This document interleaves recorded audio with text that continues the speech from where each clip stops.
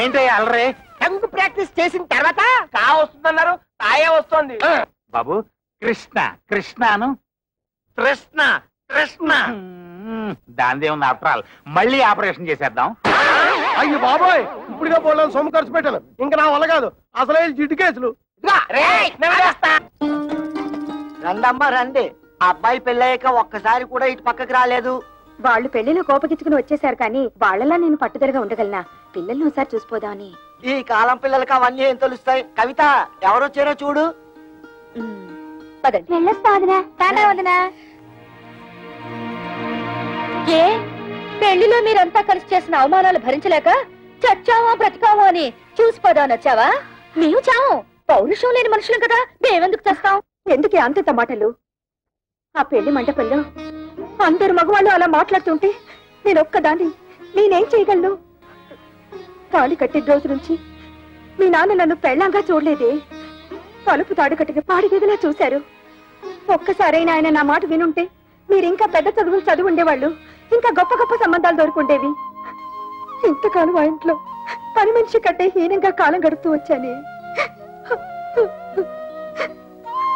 కూతురు అయినా సిక్కు విడిచి చెప్తున్నది ఆయన నా శరీరాన్ని అర్థం చేసుకున్నట్టు ఒక్కసారైనా నా మనసును అర్థం చేసుకోలేదే.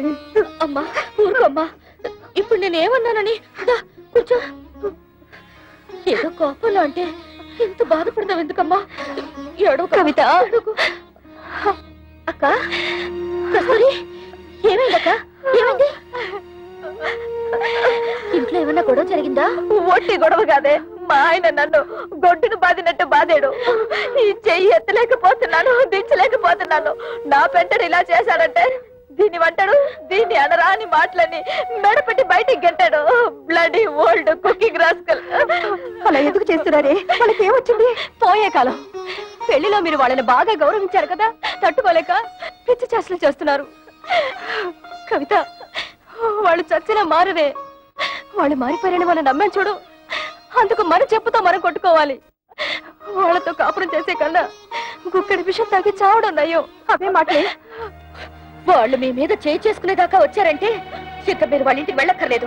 ఇక్కడే ఉండండి. వాళ్ళంతటి వాళ్ళే వచ్చి క్షమాపణ చెప్పాకే వెళ్ళండి. ఈలోగా నేను వెళ్ళి వాళ్ళని నాలుగు కడిగేసి వస్తాను. కవిత ఇది మొగుడు పెళ్ళాల మధ్య గొడవే. నువ్వు వెళ్ళి రభస చేయకు. రభస లేదు కడిది గుడ్డ లేదు. నువ్వెలాగో అడగలేవు. వెళ్ళి నన్నేను అడగనే? ఎందుకు నేను ఊరుకుంటే రేపు రోడ్డు మీద పడేసి కొడతారు. ఆడవాళ్ళని మరీ లోకుగా చూస్తున్నారు ఇడియట్స్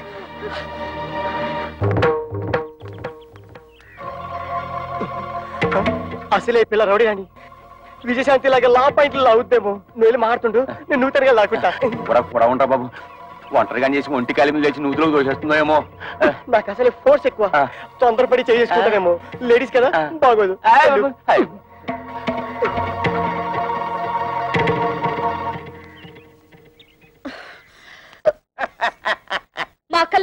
పరమాణంలో పచ్చిమిరపకాయ పెట్టింది అడుగుతుంది మిమ్మల్ని. కథ పిత్తంటారేంటి సమాధానం చెప్పండి. మా పిల్లల్ని మేము కొట్టకపోతే ఊళ్ళో పిల్లలు కొడితే ఊరుకుంటారా? తాళి కట్టింగ్ పెట్టి కొట్టాం. తాళి కట్టినంత మాత్రాన? ఆడవాళ్ళు మీకు బారసులు అనుకున్నారా? ఆహా మిమ్మల్ని పెళ్ళి చేసుకోగానే మీ బాబు మమ్మల్ని తొత్తులు అనుకున్నాడా? కట్టమైపోవడానికి ఏ మీరు మగాళ్ళు కాదా? కష్టపడి సంపాదించి ఆ డబ్బుతో మీరు అనుకున్న వ్యాపారాలేవో పెట్టుకోవచ్చు కదా? పెళ్ళాల్ని పుట్టింటి నుంచి డబ్బు తీసుకురమ్మనడానికి మీకు మేము ఒక్కరే అడుగుతున్నాం కట్టం తీసుకురమ్మని. ప్రపంచంలో అందరూ అడుగుతున్నారు. పిల్లల్ని కట్నం తీసుకురమ్మని. కట్నం తీసుకురాకపోతే కెసలు సగలు పెడుతున్నారు ఇది అల్లు రివాజు అయినా కష్టాల్లో ఉన్న అల్లుల్ని ఆదుకొని మాంగారు ఏం మాంగారు గోంగూర? ఆ ప్రతాపం ఏదో వెళ్ళి మీ మామగారి దగ్గర చూపించండి. మీ పెళ్ళాలపై కాదు. ఆయన మీద చూపిస్తాం మా పిల్లల మీద చూపిస్తాం కట్టం తీసుకురాకపోతే కాయలు ఇరగొట్టి కక్కుసులు కుక్కేసి మీద పెనాలు వెళ్ళేస్తాం ఒక్క చెక్కేస్తాం ఏయ్! ఇంకోసారి మా అక్కలపై చెయ్యేశారో? ఏం జరుగుతుందో చూడండి. ఆ, ఏం చేద్దాం బ్రూసులేక బుసుకో బుసుకో డిస్కో డిస్కోని కొడతావా? ఉమ్, కట్నాల కోసం పెళ్ళాల్ని కాల్చుకుని తింటున్నారని police complaint this is the first and last warning to you be careful అమ్మో. అన్నయ్య పోలీసులు అంటే నీ పంప తీసి మొక్కలేస్తారా నా పప్పులో నెయ్యం కదా ఆ దాని మాటలు పట్టించుకుంటా చిన్నపిల్ల అది చిన్నపిల్ల అయితే పెద్ద మనిషి ఐదేళ్ళైంది. అది కానీ కేసు పెట్టిందంటే సెవెన్ ఇయర్స్ జైలు శిక్ష. చెప్పకూడదు. జంబలక్ జంబలక్ బంబలక్ బంబ. నిజంగానా? లేకపోతే ఇందేసి మంది తరగడం యాబా అయితే అది పోలీసులకు చెప్పే లోపల దాని నోరు మూయించాలి దాని నోరు పూసారంటే ఆ, ఆటోవాడా.